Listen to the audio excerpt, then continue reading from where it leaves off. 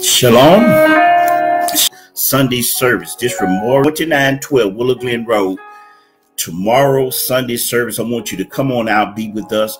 Also, I ask you to like, share with a neighbor, share with a friend, tell somebody, tell everybody to come on out to meet us and to be with us at God's Vision Ministry, 2912 Willow Glen Road in the great city of Alexandria. Be with me and Prophetess Hurts and all the other ministers and, and prophets and, and, and guests and friends we have. We want you to come on out and be with us. So, if you would, for a moment, those of you have an opportunity, I'm going to give you to get your Bibles to go to the book of Genesis, the third chapter, the first verse. Give me one moment. Jen, pray that you got it. 2912.